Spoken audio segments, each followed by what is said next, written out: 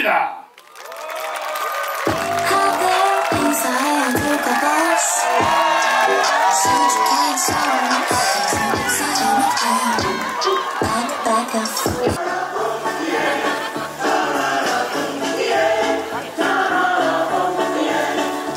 자, 이번에 정면을 향해서 설치됐습니다. 네.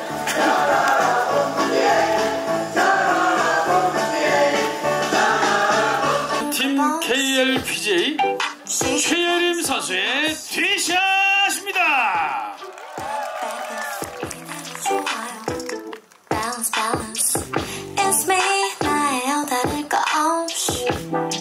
요즘엔 뭔가요 내 탓에 탐색하는 불빛. 스캐너, 스캐너. 오늘은 몇 점인가요? Jealous, jealous. 걔는 대체 왜 저런 옷을 좋아한담? 기분을 알수 없는? 굿샷! 남 기분을 알 수 없는 그 표정은 뭐람? 남 기분을 알 수 없는 그 표정은 뭐람? 굿샷!